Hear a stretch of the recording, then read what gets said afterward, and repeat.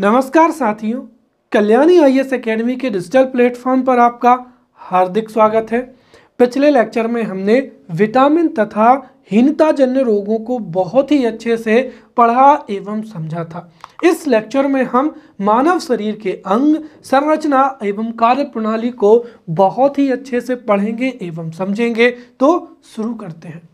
मानव शरीर के अंगों की संरचना एवं कार्य प्रणाली से विज्ञान की दो शाखाएँ संबंधित हैं, जिसमें पहली हो जाएगी मानव शरीर रचना विज्ञान या एनाटॉमी ऑफ़ ह्यूमन बॉडी तथा दूसरी हो जाएगी मानव शरीर क्रिया विज्ञान फिजियोलॉजी ऑफ़ ह्यूमन बॉडी तो सबसे पहले हम इन दो शाखाओं को पढ़ते हैं। यहाँ से भी तीन नंबर का या पाँच नंबर का प्रश्न पूछा जा सकता है कि मानव शरीर रचना विज्ञान क्या होती है?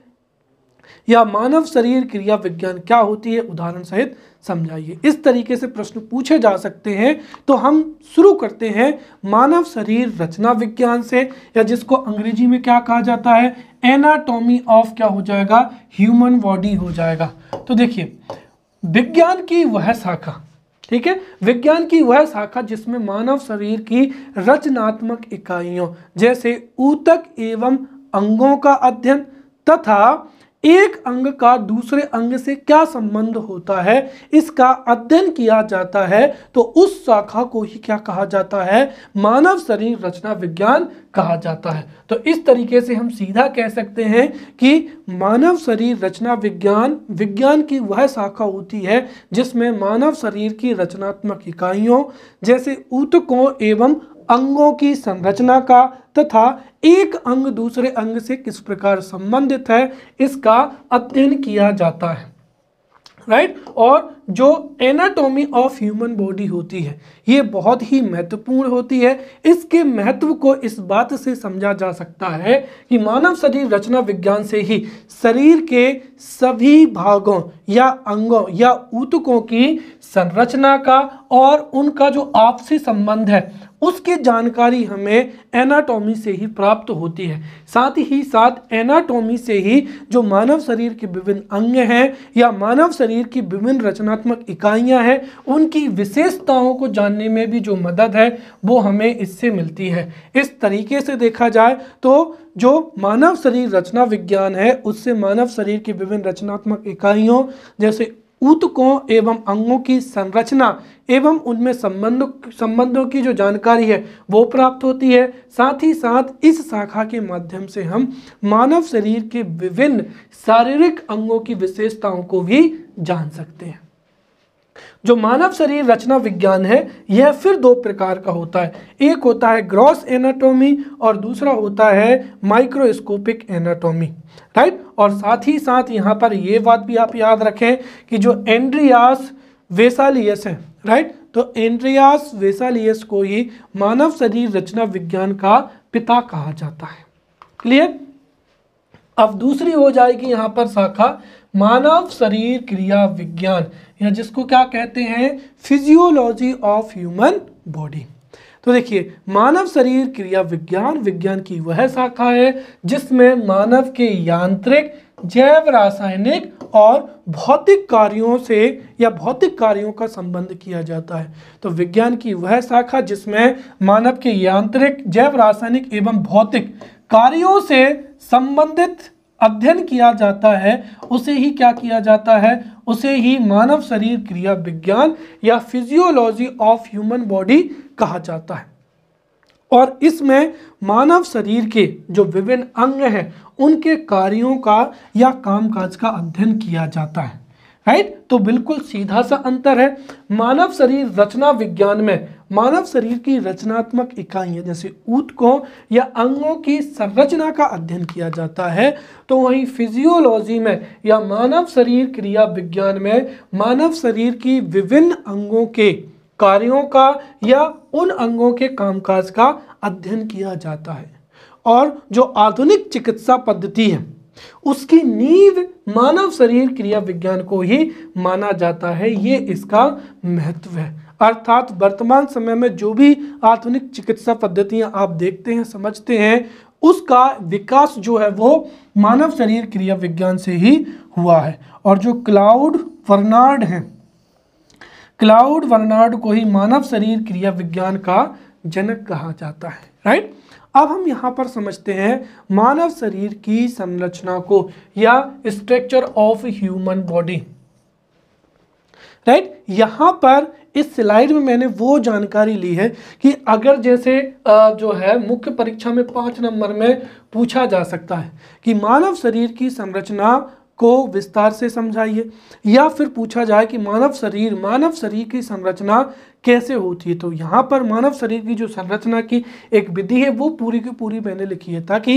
एक पाँच नंबर का जो है उत्तर आप लिख पाए। और साथ ही साथ ये भी समझ पाए कि मानव शरीर की संरचना आखिरकार होती कैसे है। तो समझते हैं, मानव शरीर की संरचना या स्ट्रक्चर ऑफ़ क्या हो जाएगा? ह्यूमन बॉडी देखिए, हमें पता है कि मानव शरीर की जो संरचनात्मक इकाई है, वो क्या होती है? कोशिकाएँ होती है। और कोशिकाएँ न केवल मानव, बल्कि सभी जीव जंतुओं की संरचनात्मक एवं कार्यात्मक इकाई क्या है? कोशिकाएँ ही हैं। अर्थात, अगर हम देखें तो मानव शरीर की संरचनात्मक इकाई कोशिकाएँ हैं। अर्थात, विभिन्न प्रकार की कोशिकाओं से मिलकर ही मानव शरीर की रचना होती है। और मानव शरीर में 30 से 40 ट्रिलियन जो है कोशिकाएँ होती हैं। या फिर हम कह सकते हैं कि मानव शरीर 30 से 40 ट्रिलियन कोशिकाओं से मिलकर बना हुआ होता है। और इसके साथ ही प्रत्येक दिन मानव शरीर में कई कोशिकाओं का निर्माण होता है तो कई कोशिकाएँ मृत भी हो जाती हैं। राइट जिनको आगे चलकर हम जो है उत्सर्जन तंत्र है या परिसंचरण तंत्र है, उसमें बहुत अच्छे से समझेंगे राइट तो यहाँ पर अगर हम देखें तो मानव शरीर की रचना विभिन्न कोशिकाओं से हुई है। साथ ही साथ मानव शरीर जो है, मानव शरीर 30 से 40 ट्रिलियन कोशिकाओं द्वारा मिलकर बना हुआ होता है। साथ ही कई कोशिकाएँ मानव शरीर में डेली उनका डेली निर्मित होती हैं तो कई कोशिकाएँ मृत भी हो जाती हैं और इनकी संख्या कितनी हो जाएगी? 150 सॉरी 250 बिलियन। तो इस तरीके से मानव शरीर में प्रत्येक दिन लगभग 250 बिलियन कोशिकाएँ उत्पन्न होती हैं। राइट साथ ही साथ, ये जो कोशिकाएँ हैं, यही कोशिकाओं से मानव शरीर का रचना होती है और यही हमारे शरीर की क्या होती है? कार्यात्मक इकाई होती है। राइट अब हम समझते हैं कि ये जो कोशिकाएँ हैं, ये हमारे शरीर में कैसे उपस्थित है। तो देखिए, यहाँ से अगर हम समझें तो मानव शरीर में राइट मानव शरीर पूरा का पूरा कोशिकाओं से मिलकर बना हुआ है। अगर हम देखें तो मानव शरीर में जो उत्पत्ति एवं संरचना में समान कोशिकाएँ हैं, वो ऊतक के रूप में अवस्थित है। अर्थात हम कह सकते हैं कि मानव शरीर में, मानव शरीर में उत्पत्ति एवं संरचना में समान कोशिकाओं के समूह को ही क्या कहा जाता है? ऊतक कहा जाता है। और ऊतक से ही अंग एवं अंग तंत्रों का क्या होता है? निर्माण होता है।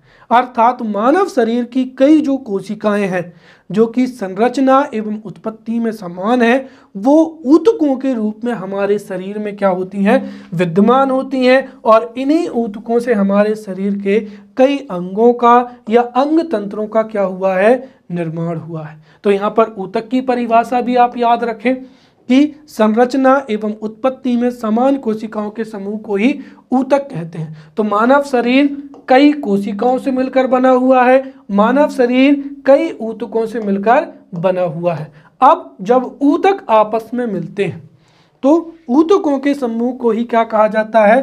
अंग कहा जाता है और अंग हमारे शरीर के ऐसी रचनात्मक इकाइयाँ होती हैं जो कि किसी विशेष कार्य को संपादित करती हैं। जैसे जो है हृदय का कार्य हो जाएगा, रक्त परिसंचरण में भूमिका निभाना जो किडनी हो जाएगी या गुर्दा हो जाएगा, उसका कार्य होता है रक्त को छानना राइट तो ऊतकों के समूह को ही क्या कहते हैं? अंग कहते हैं। और अंग जो है हमारे शरीर में विशेष कार्यों को करते हैं। अब अंगों के समूह को ही क्या कहा जाता है? अंग तंत्र कहा जाता है। और अंग तंत्र के माध्यम से ही मानव शरीर की संरचना हो जाती है।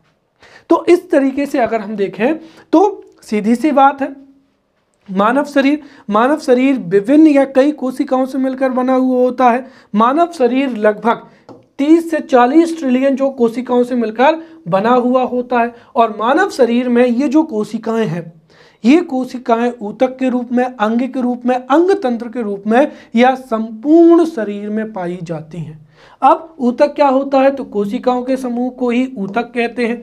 और ऊतक से ही अंगों का या अंग तंत्र की संरचना होती है। फिर हमारे शरीर में जो ऊतक होते हैं, वही आपस में मिलकर अंग बनाते हैं, जो कि हमारे शरीर में विभिन्न कार्यों को करते हैं। साथ ही साथ जो जो अंग है, अंगों का समूह क्या बनाते हैं? अंग तंत्र बनाते हैं। तो इस तरीके से मानव शरीर का जो संरचना है, वो कई कोशिकाओं से, ऊतकों से, अंगों से एवं अंग तंत्र से मिलकर हुई होती है। क्लियर साथ ही साथ हमारे मानव शरीर में विभिन्न गुहाएँ भी पाई जाती हैं। तो मानव शरीर में विभिन्न गुहाएँ होती हैं और इन्हीं गुहाओं में विभिन्न अंग प्रणालियाँ या विभिन्न अंग तंत्र पाए जाते हैं। उदाहरण के लिए मानव शरीर में कपाल गुहा होती है। राइट और मानव शरीर में जो कपाल गुहा है, वो खोपड़ी के अंदर की जगह होती है और इसी कपाल गुहा में ही तो मस्तिष्क और जो केंद्रीय तंत्रिका तंत्र होता है, वो अवस्थित होता है। साथ ही साथ मानव शरीर में फुफ्फुस गुहा होती है और इस फुफ्फुस गुहा में ही जो है फेफड़ा क्या होता है, अवस्थित होता है, जो कि श्वसन की अभिक्रिया में महत्वपूर्ण भूमिका निभाता है। साथ ही साथ उधर गुहा में आते होती हैं, यकृत होता है और क्या होते हैं? प्लीहा जैसे अंग भी अवस्थित होती हैं। इनके अलावा राइट तो इनके अलावा जो विभिन्न गुफाएँ और इन इन सब के अलावा मानव शरीर को मजबूती, मानव शरीर को मजबूती एवं मानव शरीर के विभिन्न अंगों की रचना की अंगों की सुरक्षा के लिए कंकाल तंत्र भी पाया जाता है, जो कि उपास्थि एवं अस्थियों का बना हुआ होता है। इस तरीके से हमारा पूरा का पूरा जो बॉडी का स्ट्रक्चर होता है। तो मानव शरीर विभिन्न कोशिकाओं से ऊतकों से, अंगों से अंग तंत्र से बना हुआ होता है। मनुष्य में विभिन्न गुहाएँ होती हैं, जिनमें विभिन्न अंग तंत्र होते हैं। साथ ही साथ हमारे शरीर में अंगों की सुरक्षा के लिए और शरीर के आकार के स्थायित्व के लिए कंकाल तंत्र भी अवस्थित होता है, जो कि उपास्थि एवं अस्थियों का क्या होता है? बना हुआ होता है। अब अगर हम देखें तो हमारे जो मुख्य परीक्षा है उसमें क्या टॉपिक डाला हुआ है? मानव के अंग। राइट तो हम यहाँ पर जो है, मानव के अंगों को बहुत ही अच्छे से समझते हैं। राइट तो मानव शरीर के अंग या ऑर्गन्स ऑफ़ क्या हो जाएगा? ह्यूमन बॉडी सबसे पहली हो जाएगी इनकी परिभाषा। तो देखिए, मानव अंग मानव शरीर के। राइट तो मानव अंग मानव शरीर में ऐसे ऊतकों या कोशिकाओं का समूह होता है जो कि किसी विशेष कार्य को संपादन करता है। उसे ही क्या कहते हैं? अंग कहते हैं। तो मानव शरीर में कोशिकाओं का या ऊतकों का ऐसा समूह जो कि विशेष कार्यों का संपादन करता है, उसे ही क्या कहा जाता है? मानव अंग कहा जाता है। क्लियर? और ये अंगों की सामान्य परिभाषा है। मैं इसीलिए ऐसा कह रहा हूँ क्योंकि अभी तक वैज्ञानिक समुदाय में अंगों की परिभाषा को लेकर मतभेद है। कई अंतर्राष्ट्रीय संस्थाएँ अंगों की जो है परिभाषा को अलग अलग मानती हैं। इसीलिए अलग अलग पाठ्य पुस्तकों में या अलग अलग जो सूचियाँ हैं अंगों की, उनमें अंगों के नाम और अंग जो हैं वो, उनकी अंगों की संख्या आपको अलग अलग देखने को मिलती है। अभी तक अगर हम देखें तो अनुमानित जो है मानव शरीर में 79 अंगों की जो है पहचान की जा चुकी है। राइट? तो यहाँ पर अंगों की परिभाषा जो है अभी तक जो है स्पष्ट नहीं है। राइट? और अंगों की परिभाषा को लेकर अलग अलग राय है। राइट? इसीलिए अंगों की अलग अलग सूची है। इसीलिए अगर मुख्य परीक्षा में ये प्रश्न पूछा जाता है तो हमें ये तीनों की तीनों चीज़ लिखनी पड़ेंगी। राइट अगर प्रश्न पूछा जाए कि अंग से आप क्या समझते हैं मानव शरीर में कितने अंग अवस्थित हैं? लिखिए। तो इस तरीके का उत्तर लिखने के लिए सबसे पहले तो हम एक सामान्य परिभाषा लिखेंगे। राइट कि मानव शरीर में कोशिकाओं या मुख्य रूप से ऊतकों का बना हुआ समूह, जो कि विशेष कार्यों का संपादन करता है, उसे ही मानव अंग या ह्यूमन ऑर्गन कहा जाता है क्योंकि अंतर्राष्ट्रीय स्तर पर अभी तक अंगों की परिभाषा स्पष्ट नहीं है, इसीलिए अंगों की जो सूची है वो अलग अलग देखने को मिलती है। वर्तमान समय में जो है अनुमानित, मानव शरीर में अनुमानित 79 अंगों की पहचान की चुकी है। तो हम कह सकते हैं कि वर्तमान समय में सर्वमान्य रूप से 79 अंग जो है वो ह्यूमन बॉडी में होते हैं, जिनकी पहचान की जा चुकी है। और इन 79 अंगों में से पाँच अंग ऐसे हैं जो मानव के लिए अति महत्वपूर्ण होते हैं। अर्थात इन अंगों में कोई भी खराबी आ जाए या ये क्षतिग्रस्त हो जाए तो उससे मनुष्य का जो जीवन है वो संकट में आ सकता है या मनुष्य की मृत्यु भी हो सकती है और ये पाँच अति महत्वपूर्ण जो मानव अंग हैं, उनमें मस्तिष्क हो जाएगा, हृदय हो जाएगा, यकृत हो जाएगा, फेफड़े हो जाएँगे और क्या हो जाएगा? गुर्दा हो जाएगा। अब ये जो पाँच अति महत्वपूर्ण अंग हैं, इनसे पाँच नंबर का प्रश्न आने की पूरी पूरी संभावना है कि हृदय क्या होता है, राइट? मानव शरीर में इसकी भूमिका या इसके महत्व को स्पष्ट कीजिए। राइट? शरीर के संचालन में मस्तिष्क की क्या भूमिका होती है? या फिर यकृत की संरचना को समझाइए, साथ ही साथ इसके कार्यों को भी लिखिए, या फिर गुर्दा क्या होता है, यह कैसे कार्य करता है? इस तरीके के विभिन्न जो प्रश्न है, वो पूछे जा सकते हैं। तो ये जो जितने भी 79 अंगों में से ये पाँच अंग आपको एनी हाउ तैयार करना है। इनसे प्रश्न पूछे जाने की पूरी संभावना है। और इन अंगों को हम इस लेक्चर में ना पढ़ के दरअसल ये जो अंग हैं, ये अलग अगर हमने अभी देखा है कि जो अंग है, अंगों के समूह से क्या होता है? अंग तंत्र बनता है। तो मानव शरीर में जो हम अंग तंत्रों को पढ़ेंगे, उसमें हम हर एक जो अंग है, उसको बहुत ही डिटेल में पढ़ेंगे। जैसे जब हम तंत्रिका तंत्र पढ़ेंगे तो तंत्रिका तंत्र में हम मस्तिष्क को भी पढ़ लेंगे। इसके दो फ़ायदे हैं। एक तो हम तंत्रिका तंत्र को भी समझ लेंगे राइट मस्तिष्क की संरचना भी समझ में आ जाएगी और कार्यविधि भी समझ में आ जाएगी राइट वहीं हम परिसंचरण तंत्र में पढ़ेंगे तो परिसंचरण तंत्र में हृदय को पढ़ेंगे, और ये तो हमारे सिलेबस में फिर अलग से भी मेंशन है। पौधों एवं जंतुओं में परिवहन या परिसंचरण तो इस टॉपिक को जब हम पढ़ेंगे तो मानव में एवं जंतुओं में परिवहन एवं परिसंचरण को पढ़ेंगे तो जब हम मानव में जो परिसंचरण तंत्र है या सर्कुलेटरी सिस्टम है, उसमें हम बहुत ही डिटेल में हृदय को पढ़ेंगे। वैसे ही जो मानव में पाचन तंत्र है, ये भी हमारे मुख्य सिलेबस में है। मनुष्यों जो है पशुओं एवं पौधों में पोषण राइट उसमें भी जो है हमको पाचन तंत्र के बारे में पढ़ना है। फिर जीवों में श्वसन में हम फेफड़ों को पढ़ेंगे और जो गुर्दा है, उसको हम उत्सर्जन तंत्र में पढ़ेंगे। क्लियर अब हम अंगों के प्रकारों को समझते हैं। तो यहाँ से भी जो है प्रश्न पूछा जा सकता है कि जीव जंतुओं में पाए जाने वाले विभिन्न प्रकार के अंगों को लिखिए राइट या फिर अंग कितने प्रकार के होते हैं, या अंगों को किन भागों में बांटा जा सकता है, समझाइए। तो हम यहाँ पर जो है समझात अंग, समरूप अंग या अवशेषी अंगों को भी समझते हैं। सबसे पहले हम बात करते हैं समझात अंग। देखिए समझात अंग ऐसे अंग होते हैं, जिनकी मूल संरचना या भ्रूणीय प्रक्रिया में समानता होती है। परंतु अलग अलग कार्यों के संपादन करने की वजह से वो हमको अलग प्रतीत होते हैं या हमको असमान लगते हैं। सबसे पहली चीज़ तो ये जो समझात अंग है या समरूप अंग है, हम यहाँ पर दो जीवों के अंगों की तुलना कर रहे हैं। दो जीवों के या दो जंतुओं में पाए जाने वाले अंगों की तुलनात्मक दृष्टि से समझात एवं समरूप अंगों को परिभाषित किया जाता है। तो समझात अंग क्या होते हैं? बिल्कुल सीधी सी परिभाषा है।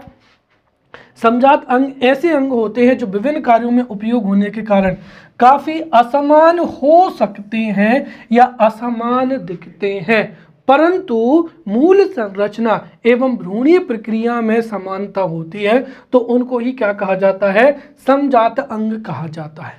जैसे यहाँ पर चार जंतुओं के नाम लिखे हैं। एक हो जाएगा मनुष्य, चीता, चमगादड़ और क्या हो जाएगा? वेल।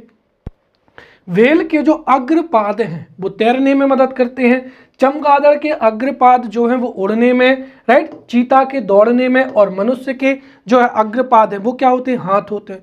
तो मनुष्य के जो हाथ हैं या चीता के जो अगले अगले वाले पेड़ हैं या चमगादड़ के जो पंख हैं वो तीनों अलग अलग कार्यों की वजह से हमको असमान प्रतीत होते हैं या हमको असमान लगते हैं। परंतु उनकी जो मूल संरचना है या उनकी जो भ्रूणीय प्रक्रिया है, वो क्या होती है? एक समान होती है। तो ऐसे अंगों को ही क्या कहते हैं? समजात अंग कहते हैं। इसके विपरीत क्या होते हैं? समरूप अंग होते हैं। राइट? तो ऐसे अंग जो समान कार्यों में या फिर समान रचना में राइट तो ऐसे अंग जो समान कार्यों में प्रयुक्त तो होने के कारण समान प्रतीत होते हैं या एक से दिखते हैं, परंतु इनकी मूल संरचना एवं भ्रूणीय प्रक्रिया में क्या होती? असमानता होती है। तो ऐसे अंग राइट कई जीवों पाए जाने वाले ऐसे अंग जो कि समान कार्यों में लिप्त होने के कारण एक समान दिखते हैं या समान दिखाई देते हैं, परंतु उनकी मूल संरचना अलग अलग होती है। उन अंगों को ही क्या कहा जाता है? समरूप अंग कहा जाता है। उदाहरण के लिए पक्षियों के पंख और तितली के पंख। तो पक्षियों के पंख भी उड़ने के काम आते हैं और तितली के भी। अंतर केवल इतना है कि पक्षियों के पंख की जो संरचना है या भ्रूणी अवस्था, वो तितली के पंखों से अलग होती है। तीसरे हो जाएँगे यहाँ पर अवशेषी अंग। देखिए, विकसित जंतुओं में पाए जाने वाले कुछ ऐसे जंतु जो या तो अर्ध विकसित होते हैं, या फिर निष्क्रिय होते हैं, या उन जीवों के द्वारा इनका प्रयोग ना के बराबर किया जाता है तो उन अंगों को ही क्या कहते हैं? अवशेषी अंग कहते हैं। तो विकसित जंतुओं में पाए जाने वाले ऐसे अंग जो या तो अर्ध विकसित होते हैं, या निष्क्रिय होते हैं, या अनुपयोगी होते हैं, उन अंगों को ही क्या कहते हैं? या अंगों के भाग को अवशेषी अंग कहते हैं।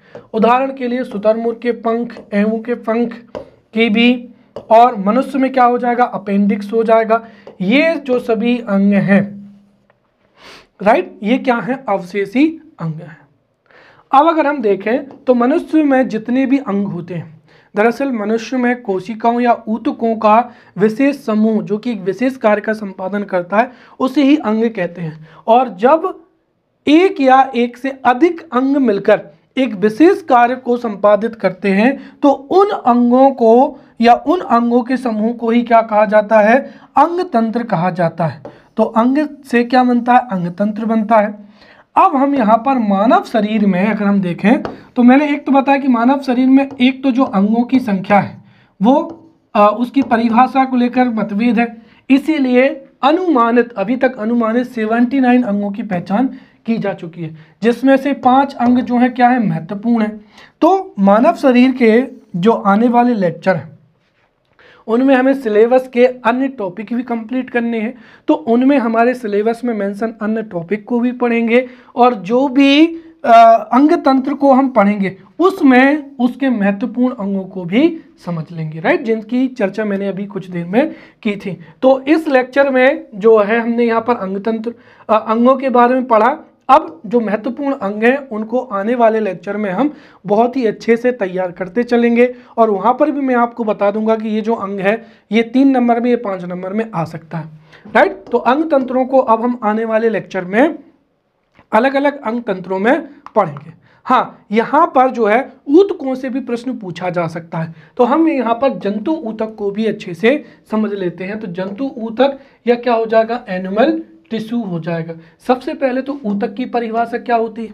तो देखिए, ऊतक ऐसी कोशिकाओं का समूह होता है जिनकी संरचना, उत्पत्ति जो है, क्या होती है? एक समान होती है।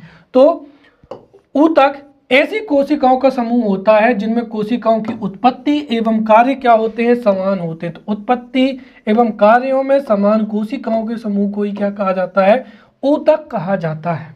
और जो ऊतक है अगर हम बात करते हैं जंतुओं में चार प्रकार के होते हैं तो जंतुओं में चार प्रकार के ऊतक होते हैं। सबसे पहला हो जाएगा उपकला ऊतक, दूसरा हो जाएगा संयोजी ऊतक, तीसरा हो जाएगा यहाँ पर पेशी ऊतक और चौथा हो जाएगा तंत्रीय ऊतक। तो इनसे भी जो है, हो सकता है मुख्य परीक्षा में प्रश्न पूछ लिया जाए कि ऊतक क्या होते हैं, मानव शरीर में कितने प्रकार के ऊतक पाए जाते हैं। तो उस स्थिति में हम ऊतक की परिभाषा लिखेंगे और हम सीधा यहाँ पर मनुष्यों में या जंतुओं में इन चार प्रकार के ऊतकों को पढ़ने का, समझने का प्रयास करेंगे।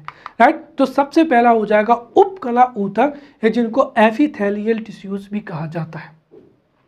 देखिए, उपकला ऊतक जंतुओं में या मनुष्यों में पाए जाने वाले ऐसे ऊतक होते हैं जो कि वाह आवरण राइट या फिर रक्षा प्रदान करते हैं।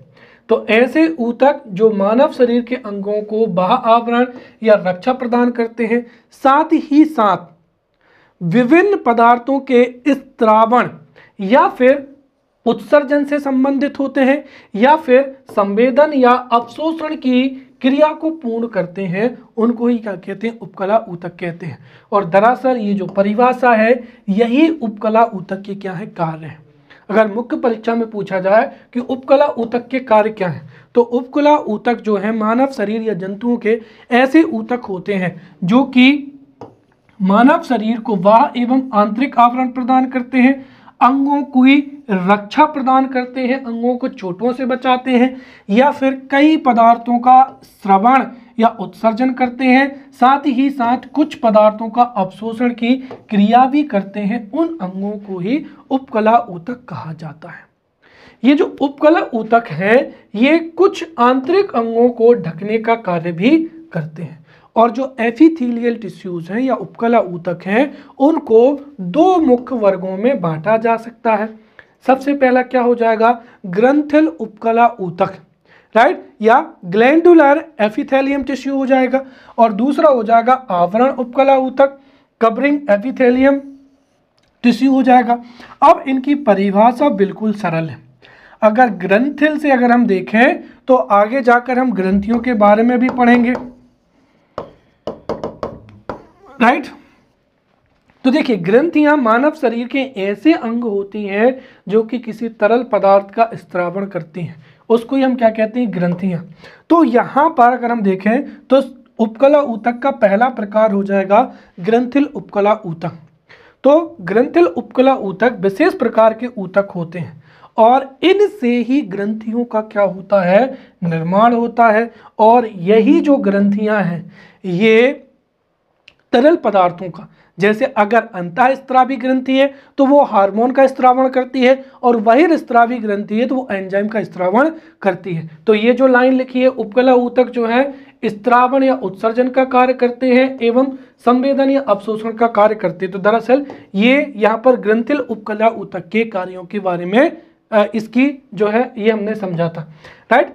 तो एपिथेलियल का पहला प्रकार हो जाएगा ग्रंथिल उपकला ऊतक। तो ग्रंथिल उपकला ऊतक विशेष कोशिकाओं से बने होते हैं, जो कि तरल पदार्थों का उत्स्रावण करते हैं, अर्थात इनसे ही जो है ग्रंथियों का निर्माण होता है। तो ग्रंथिल उपकला ऊतकों से ग्रंथियों का निर्माण होता है। दूसरा हो जाएगा आवरण उपकला ऊतक, या कवरिंग एफिथेलियल टिश्यू हो जाएगा। तो जैसा इसका नाम है आवरण राइट तो आवरण उपकला ऊतक वे उपकला ऊतक होते हैं जो कि कई अंगों को जो है आवरण प्रदान करते हैं। राइट और ये जो आवरण उपकला ऊतक होते हैं, ये फिर दो प्रकार के होते हैं। सरल एफिथेलियम टिश्यूज हो जाएँगे और कॉम्प्लेक्स या संयुक्त एफिथीलियम टिश्यूज हो जाएँगे। तो सरल उपकला ऊतक और संयुक्त उपकला ऊतक। इसमें से जो सरल उपकला ऊतक होते हैं, ये फिर चार प्रकार के होते हैं, जिनको हम एक एक करके पढ़ते हैं। सबसे पहला हो जाएगा सल की उपकला ऊतक राइट तो सल की उपकला ऊतक, वे उपकला ऊतक होते हैं जो त्वचा की बाहरी परत पर पाए जाते हैं। जैसे क्या हो जाएगा? जिवहा ग्रास नली एवं आहार नाल के स्तर पाए जाते हैं राइट तो सरल एफिथेलियल, सरल एफिथीलियम जो ऊतक है, उसमें सबसे पहला हो जाएगा यहाँ पर सल की उपकला ऊतक। तो जो सबकली सल की उपकला ऊतक हैं, ये त्वचा की बाहरी परत बनाते हैं, साथ ही साथ ये जिब्बा, ग्रास नली एवं आहार नाल के स्तर भी बनाते हैं। दूसरा हो जाएगा यहाँ पर स्तंभाकार उपकला ऊतक। इन ऊतकों का कार्य अवशोषण एवं स्त्रावण के अतिरिक्त अंगों को यांत्रिक सहारा प्रदान करना होता है। तीसरा हो जाएगा यहाँ पर घनाकार उपकला ऊतक। तो जो घनाकार उपकला ऊतक होते हैं, ये लार ग्रंथि, स्वेद ग्रंथि वृक नलिकाओं में क्या होते हैं, पाए जाते हैं। तो घनाकार उपकला ऊतक, लार ग्रंथि श्वेत ग्रंथि एवं ब्रक नलिकाओं में पाए जाते हैं और चौथा हो जाएगा रोमक। अर्थात इनमें क्या पाए जाते हैं? रोम। तो रोमक या पक्ष मावी उपकला ऊतक, इनकी जो मुक्त सतह है, इस पर रोम पाए जाते हैं और ये अंडवानी श्वास नली तथा मुख गुहा में पाए जाते हैं। राइट? तो इस तरीके से हमने यहाँ पर उपकला ऊतक के बारे में बहुत ही अच्छे से पढ़ लिया है। अब दूसरा हो जाएगा संयोजी ऊतक। तो देखिए, संयोजी ऊतक मानव या जंतु में पाए जाने वाले ऐसे ऊतक होते हैं जो विभिन्न ऊतकों को या विभिन्न अंगों को आपस में जोड़ने का कार्य करते हैं या फिर शरीर को आकार प्रदान करते हैं या उसको बनाए रखने का कार्य करते हैं। तो ये यहाँ पर संयोजी ऊतक की कार्य एवं परिभाषा हो जाएगी। तो संयोजी ऊतक जंतुओं के या मनुष्य शरीर के ऐसे ऊतक होते हैं जो मनुष्य शरीर के सभी ऊतकों तथा अंगों को आपस में जोड़ने राइट अंग तथा शरीर को आकार प्रदान करने एवं उन, उन्हें जो आकार है उसको बनाए रखने का कार्य करते हैं। उदाहरण के लिए क्या हो जाएगा? रक्त। रक्त भी एक प्रकार का क्या होता है? संयोजी ऊतक है। उदाहरण हो जाएगा। अब ये जो संयोजी ऊतक होते हैं, इनकी उत्पत्ति भ्रूण के मीसोधर्म से ही होती है और साथ ही साथ मानव शरीर में या जंतुओं के शरीर में सबसे अधिक संयोजी ऊतक ही पाए जाते हैं। तो सबसे अधिक संयोजी ऊतक ही पाए जाते हैं। और ये भी तीन प्रकार के होते हैं। वास्तविक संयोजी ऊतक, कंकाल ऊतक और क्या हो जाएगा? तरल ऊतक हो जाएगा। तो इसमें से हम सबसे पहले पढ़ेंगे यहाँ पर वास्तविक संयोजी ऊतक। तो देखिए, वास्तविक जो संयोजी ऊतक होते हैं या कनेक्टिव टिश्यू प्रॉपर तो जो वास्तविक संयोजी ऊतक होते हैं, ये भी कई प्रकार के होते हैं, जिसको हम पढ़ते हैं, सबसे पहला क्या हो जाएगा? एरी ओलर कहा हो जाएगा राइट तो एरी ओलर टिश्यू हो जाएगा। तो एरी ओलर राइट एरी एरिओलर जो है, ये वास्तविक संयोजी ऊतक होते हैं और इन्हें लचीले संयोजी ऊतक भी कहते हैं। कारण क्या है कि ये जो ऊतक हैं, ये विभिन्न ऊतकों या अंगों को जोड़ने का कार्य करते हैं। तो एरिओलर ऊतक जो है, लचीले संयोजी ऊतक होते हैं। ये ये जो है, ऊतक या अंगों को जोड़ने का कार्य भी करते हैं। और इनमें तीन प्रकार की कोशिकाएँ पाई जाती हैं। जैसे फाइब्रोप्लास्ट कोशिकाएँ हो जाएँगी और फाइब्रोप्लास्ट कोशिकाएँ से कोलेजन, इलास्टीन एवं फ्राइब्रोनेक्टिन प्रोटीन का निर्माण होता है। वहीं मस्ट कोशिकाएँ हो जाएँगी, जिनसे हिस्टामिन, हेफेरिन एवं सेरोटोनिन हार्मोन का क्या होता है? स्त्रावण होता है। वहीं मैक्रोफेजिस, जो कि सूक्ष्म जीवों एवं विजातीय कणों को नष्ट करने का कार्य करता है। राइट? और इन्हें लचीले या लचीले संयोजी ऊतक कहा जाता है। दूसरा हो जाएगा यहाँ पर बसा संयोजी ऊतक राइट तो बता, बसा संयोजी ऊतक ए से राइट बसा संयोजी ऊतक ऐसे संयोजी ऊतक होते हैं जो कि त्वचा के नीचे पाए जाते हैं। साथ ही साथ किडनी के चारों ओर तो बसा संयोजी ऊतक हमारी त्वचा के नीचे एवं किडनी के चारों तरफ़ बसा कोशिकाओं के रूप में पाए जाते हैं। और इनका महत्वपूर्ण ताप महत्वपूर्ण कार्य क्या होता है? शरीर के ताप को नियंत्रण करने देना। अगर हमारे शरीर से जो ऊष्मा है वो बाहर निकल जाएगी तो उससे हमारे शरीर का जो तापमान है वो प्रभावित होगा। इसीलिए हमारे शरीर की त्वचा के नीचे एवं किडनी के चारों ओर बसा संयोजी ऊतक पाए जाते हैं, जो कि ध्रुवीय क्षेत्रों में या एक तरीके से जो बर्फीले क्षेत्र होते हैं, उनमें रहने वाले स्तनधारियों के ताप क्षय से बताते हैं। राइट? अर्थात उनकी शरीर की जो ऊष्मा है, वो नष्ट नहीं हो पाती है। यही कारण है कि अत्यधिक ठंड में भी वो जीव जो हैं, वो जीवित रह पाते हैं। साथ ही साथ ये बसा का संश्लेषण, संग्रहण एवं बसा का उपापचय भी करते हैं। फिर अगला हो जाएगा श्वेत ऊतक। जो श्वेत ऊतक है, ये विशेषीकृत संयोजी ऊतक होते हैं और ये कपाल हड्डियों के बीच में पाए जाते हैं। राइट? कपाल हड्डियों के बीच में है इनकी उपस्थिति इन्हें अचल बनाती है। अर्थात ये कपाल हड्डियों के बीच में पाए जाते हैं और असल होते हैं। फिर तीसरा हो जाएगा यहाँ पर टेंडन। देखिए, टेंडन हमारे शरीर टेंडन जंतुओं एवं मानव के ऐसे ऊतक होते हैं, जो कि मांसपेशियों को मांसपेशियों से या मांसपेशियों को अस्थियों से जोड़ने का कार्य करते हैं। और ये कई बार प्री की परीक्षा में भी पूछा जा सकता है राइट कि मांसपेशियों को, मांसपेशियों से जोड़ने वाले ऊतकों को क्या कहा जाता है? या मांसपेशियों को अस्थियों से। तो वैसे ऊतक जो मांसपेशियों को मांसपेशियों से या फिर मांसपेशियों को अस्थियों से जोड़ने का कार्य करते हैं, उन्हें ही क्या कहते हैं? टेंडन कहते हैं। फिर अगला हो जाएगा, लिगामेंट हो जाएगा। देखिए, लिगामेंट जो है, एक घना तंतु में संयोजी ऊतक होता है और ये अस्थियों को जोड़ों से जोड़ने का कार्य करता है। और चूँकि ये अस्थियों को जोड़ों से जोड़ते हैं, इसी कारण मनुष्य अपनी गर्दन, उंगलियाँ या पैरों को आसानी से घुमा पाता है। फिर हो जाएगा कंकाल ऊतक या स्केल टाल क्या हो जाएगा? टिश्यू हो जाएगा।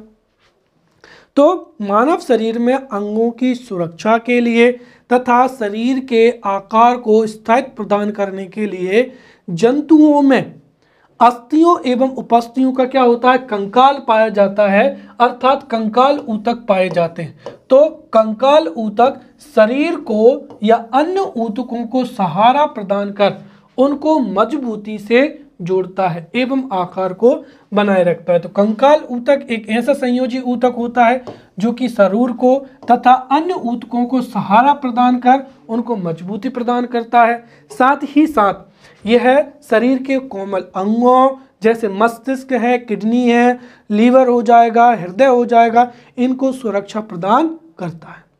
जो कंकाल ऊतक है, ये दो प्रकार का होता है, एक हो जाएगा उपास्थि या अस्थि। तो जो कंकाल ऊतक है, वो उपास्थि या अस्थियों से मिलकर बना हुआ होता है। तो हम यहाँ पर उपास्थि एवं अस्थि, राइट? जो वोन एवं कार्टिलेज में अंतर है। ये भी कई बार मुख्य परीक्षा में पूछा जा सकता है। सबसे पहले हम यहाँ पर उपास्थि को पढ़ेंगे एवं फिर उसके बाद में अस्थि को पढ़ेंगे। तो सबसे पहला हो जाएगा यहाँ पर उपास्थि ऊतक या कार्टी लेजिनियस टिश्यू हो जाएगा। या उपास्थि क्या होती है, इसको भी हम समझते हैं।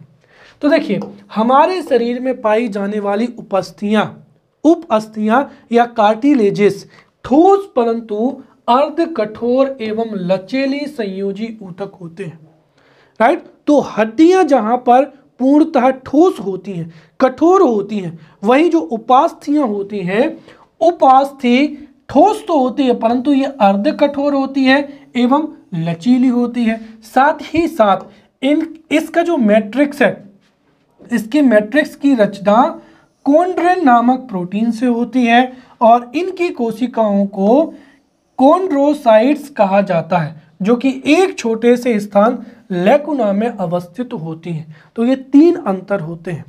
अस्थियाँ कठोर होती हैं और लचीली नहीं होती हैं। वहीं जो उपास्थियाँ हैं या उपास्थि ऊतक, ठोस तो होता है, परंतु अर्ध कठोर एवं लचीला होता है।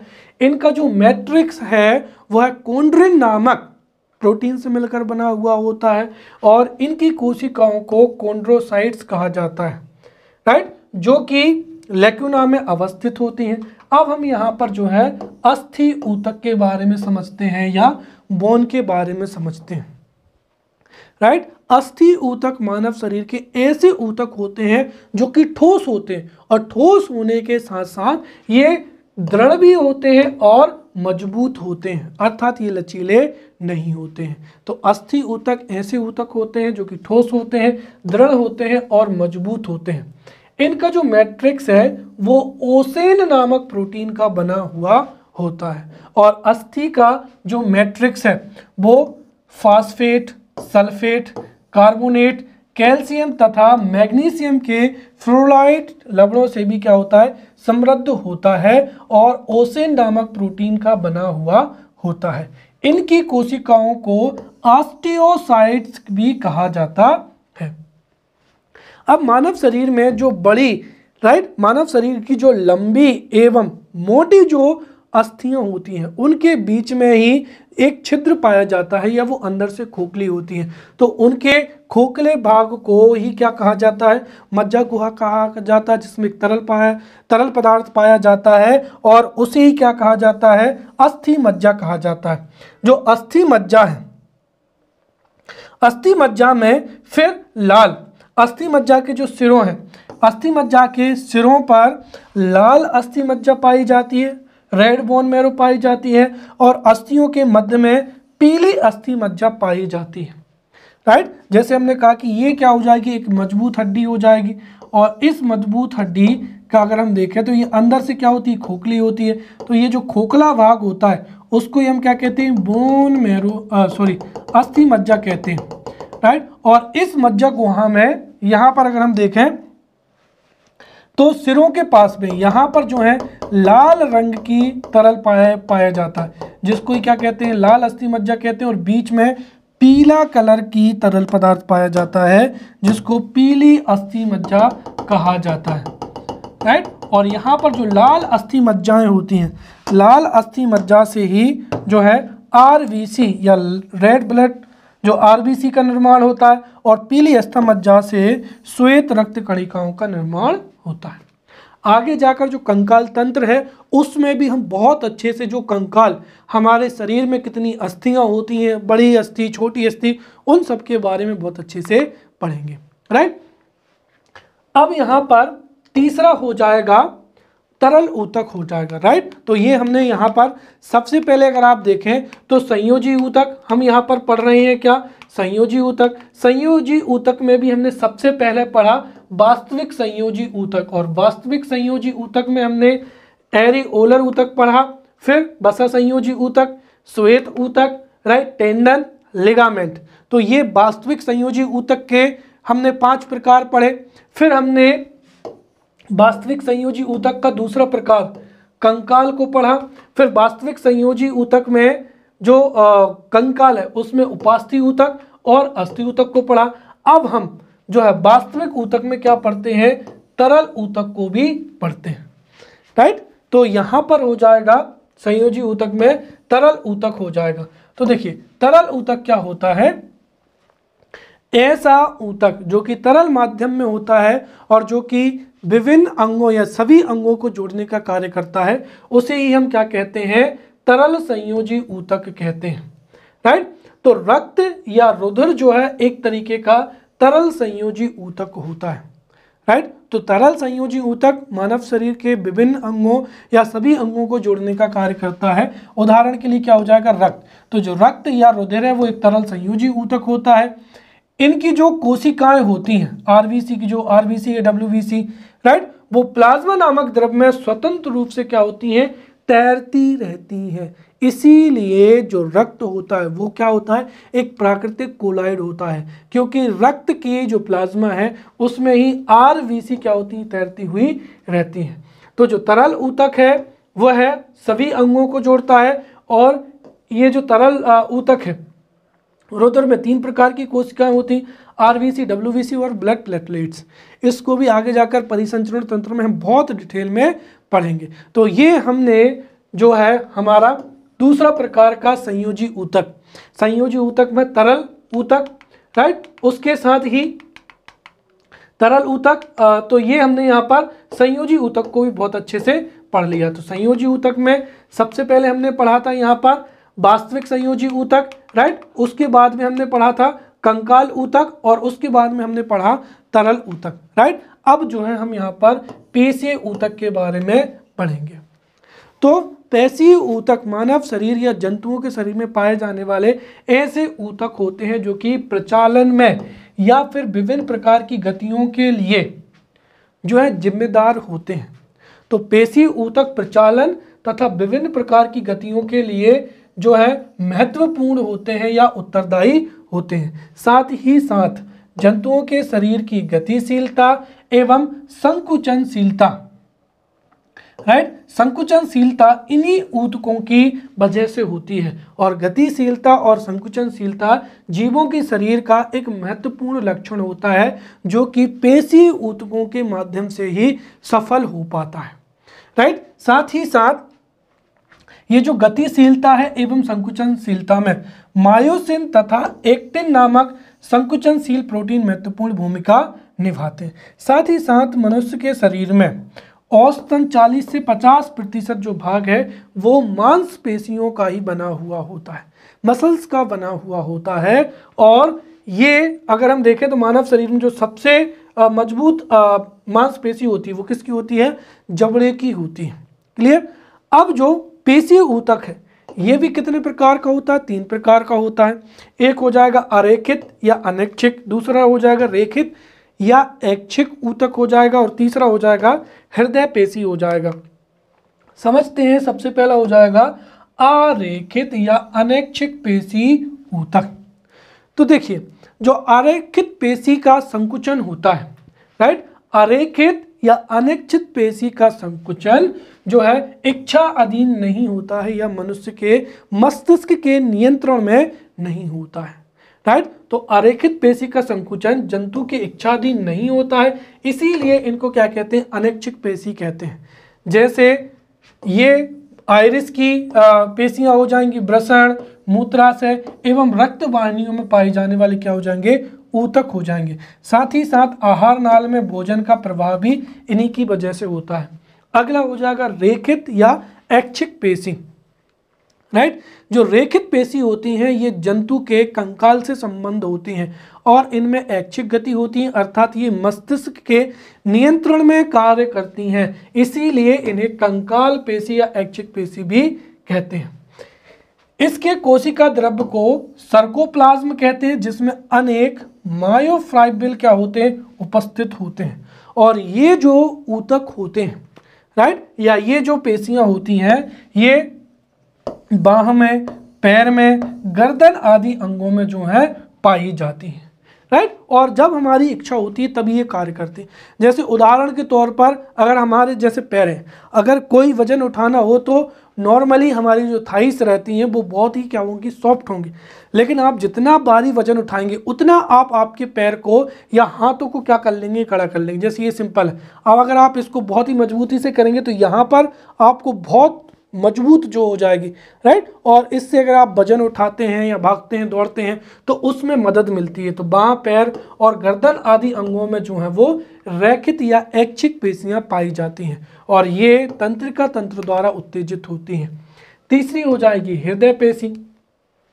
जो हृदय पेशियाँ हैं, वो हृदय की भित्ति बनाती हैं और इनमें अनुप्रस्थधारियाँ पाई जाती हैं, परंतु ये स्वभावता कैसी होती हैं? अनैच्छिक होती हैं। इनमें संकुचन एवं क्या होता है? प्रसारण होता है। और इनका जो संकुचन एवं प्रसारण का नियंत्रण है, वो तंत्रिका तंत्र द्वारा ना होकर, स्वयं पेशियों के नियंत्रण द्वारा ही होता है। और इस तरीके से जो हृदय पेशी के संकुचन एवं प्रसारण है इनकी मदद से ही हृदय कार्य करता है और रक्त को जो है धमनियों में क्या करता है? प्रेशर देके जो है धमनियों में प्रवाहित करता है। राइट अब चौथी जो पेशी हो जाएगी, वो कौन सी हो जाएगी? तंत्रिका ऊतक हो जाएगी। देखिए, इसको आप बहुत ही अच्छे से समझ सकते हैं मनुष्य के उदाहरण से। हमें पता है कि मनुष्य में पाँच ज्ञान इंद्रियाँ होती हैं, जैसे आँख, नाक, कान जीव और क्या हो जाएँगी? त्वचा। इनसे ही हमें सूचना या ज्ञान की प्राप्ति होती है। और जैसे ही ये ज्ञान की प्राप्ति होती है तो ये हमारे मस्तिष्क में जाता है। और फिर जो हमारा जो मस्तिष्क है, वो कोई भी प्रतिक्रिया लेने का निर्णय करता है। जैसे उदाहरण के तौर पर अगर आप कुछ भी देखते हैं, सुनते हैं तो आपको क्या करना है, ये क्या नहीं करना ये आपके दिमाग में चलता है। और फिर आप एक निर्णय लेते हैं तो उसके बाद में आप प्रतिक्रिया देते हैं।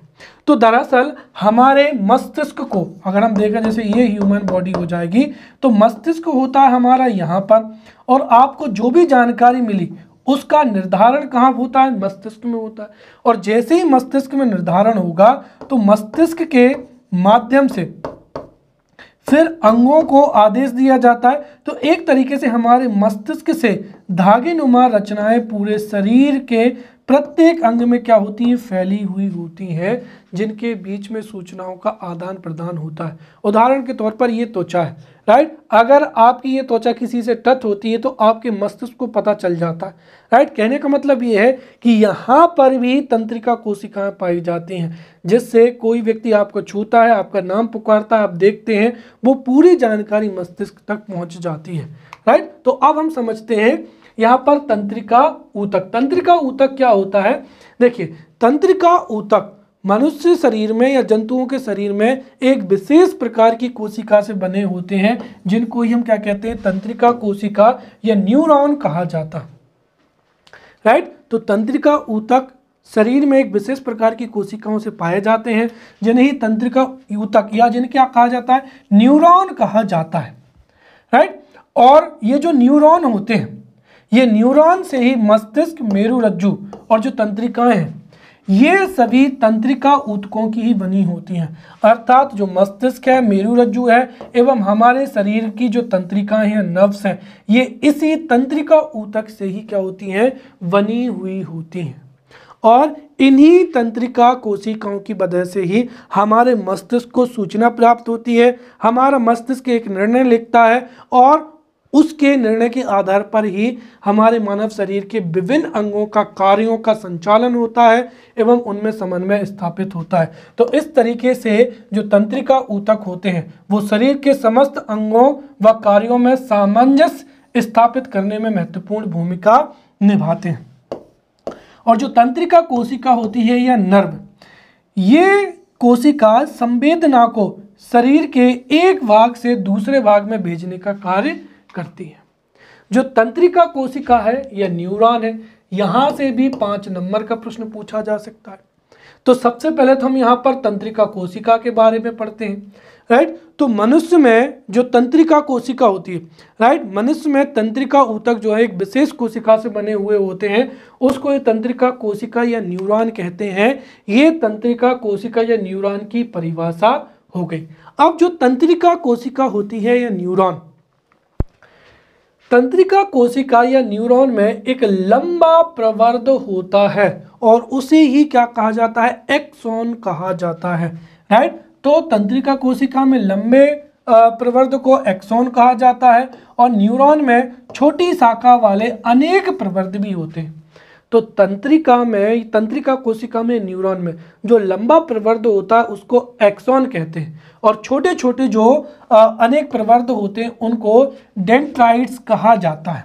और न्यूरॉन, एक जो न्यूरॉन होता है, या तंत्रिका कोशिका, उसमें एक्सॉन के अंतिम छोर की शाखाएँ, दूसरे न्यूरॉन के डेंड्राइट से जुड़कर क्या बनाती हैं? सिनेप्सिस बनाती हैं और इस तरीके से जो तंत्रिका तंत्र है, वो मानव शरीर में क्या होता है? फैला हुआ होता है। तो ध्यान से समझना यहाँ पर। एक न्यूरॉन का जो एक्सॉन होता है, वो दूसरी तंत्रिका कोशिका के डेंट्राइट से जुड़कर क्या बनाता है? सनेप्सिस बनाता है। और इस तरीके से जो है, हमारे शरीर में तंत्रिकाएँ आपस में जुड़ी हुई होती हैं। एक तंत्रिका जो है कोशिका एक मीटर तक लंबी हो सकती है और जो तंत्रिका ऊतक होते हैं, इनसे मस्तिष्क एवं मेरुरज्जु भी बनते हैं। तो इस तरीके से हमने यहाँ पर जो है, इस लेक्चर में जंतु ऊतक को बहुत ही अच्छे से पढ़ लिया है एवं समझ लिया है। आने वाले लेक्चर में हम अंगों को विभिन्न अंग तंत्रों में बहुत ही डिटेल से पढ़ेंगे। तब तक के लिए धन्यवाद।